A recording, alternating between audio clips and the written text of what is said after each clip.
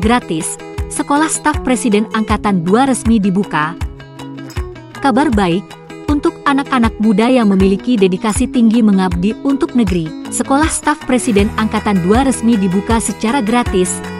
Hal itu diungkapkan langsung oleh Kepala Staf Kepresidenan Dr. Muldoko. Muldoko mengatakan, melalui Sekolah Staf Presiden ini anak-anak muda Indonesia akan mendapatkan pengalaman berharga tentang bagaimana mengelola sebuah negara.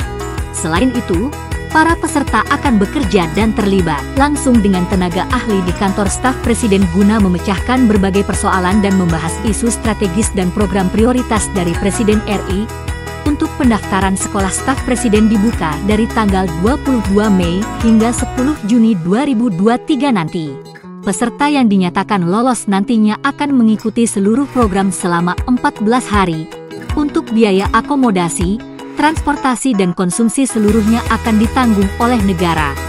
Untuk pelaksanaan kegiatan ini, kantor staf presiden bekerja sama dengan salah satu perusahaan badan usaha milik negara yakni Pertamina. Bagi sadrek yang ingin mendaftar, bisa langsung mengunjungi laman resmi kantor staf presiden. Kami kabar baik, menyampaikan kabar baik untuk masyarakat Indonesia.